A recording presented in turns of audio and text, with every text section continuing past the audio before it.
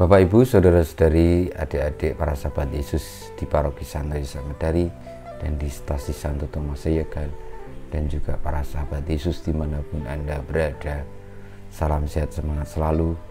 Marilah kita kembali belajar ilmu sejati pada hari Sabtu tanggal 16 Januari tahun 2020. Semoga dalam situasi pandemi ini kita tetap sehat semangat, kita tetap peduli untuk menjaga kesehatan baik secara rohani maupun jasmani dan juga peduli menjaga kesehatan jasmani dan rohani saudara-saudari yang ada di sekitar kita. Marilah kita mengawali belajar ilmu sejati kita dengan berdoa. Dalam nama Bapa, Putra, dan Roh Kudus. Amin. Allah Bapa pencipta dan penyelamat, Yesus Putramu telah kau urapi untuk menyampaikan sabda penuh cinta kasih kepada umat manusia Semoga kami dapat memenuhi sabdanya agar dapat menemukan keselamatan. Sebab dialah Tuhan pengantara kami yang bersama di kau dalam persatuan roh kudus hidup dan berkuasa sepanjang segala masa. Amin.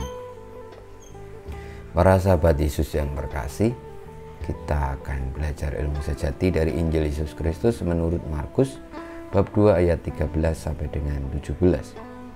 Sekali peristiwa Yesus pergi ke pantai Danau Galilea dan semua orang datang kepadanya. Yesus selalu mengajar mereka. kemudian ketika meninggalkan tempat itu, ia melihat Lewi anak Alpeus duduk di rumah cukai. Yesus berkata kepadanya, "Ikutlah aku."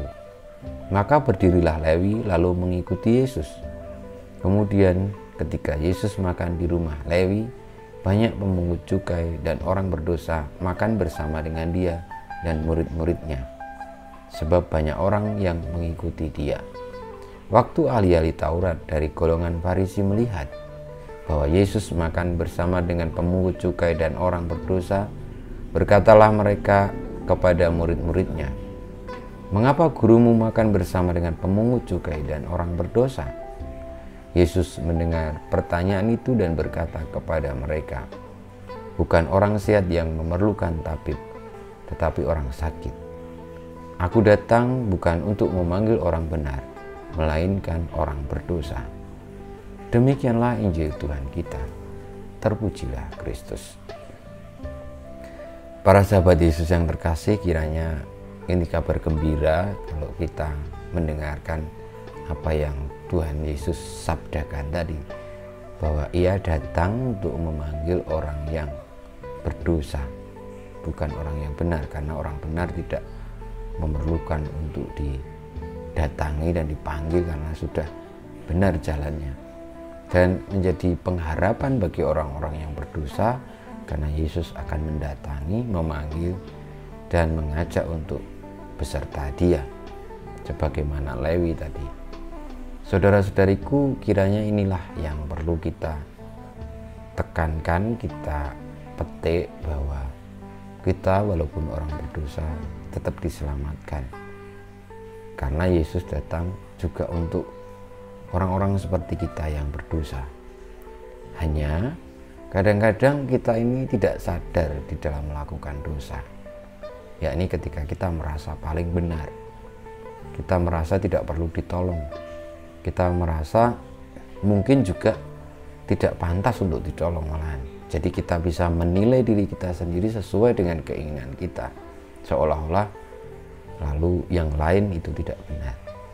Nah itu yang terjadi juga pada diri orang-orang Farisi, ahli-ahli Taurat tadi. Bahwa oleh karena pengetahuannya lalu mereka memiliki cara berpikir sendiri bahwa orang seperti Yesus ya tidak pantas bergaul dengan orang berdosa.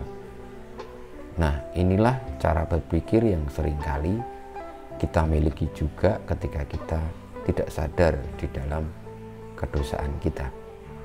Kadang-kadang kita ini ngomong tetapi tanpa perlu ada pendalaman terlebih dahulu. Karena yang ngomong itu lebih banyak karena didorong oleh keinginan-keinginan tidak oleh kedekatan kita dengan Tuhan.